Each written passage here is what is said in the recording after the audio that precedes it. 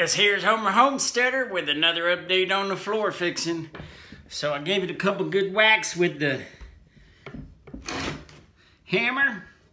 And if you'll recall, right there where that was rocking back and forth, I've now pushed that jack joist down enough that when I get pressure on it,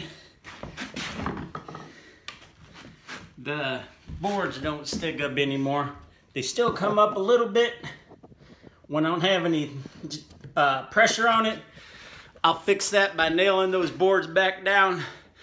Now I'm back down below under the Homestead South in order to get the right supports under there. Like I said, I'm gonna put a two by and maybe a one by across the top of that pier so it gives support under both that jack joist and the normal joist that runs this way as well as a spacer between this joist and the next joist. So I'll get a long, uh, nice plane to set all the pressure of the house down on instead of where it just slipped off and pushed up on that one jack joist. I'm so used to calling them jack studs that a jack joist is hard to come off the lips for this old hillbilly steady gander. Just saw your leg update on the property.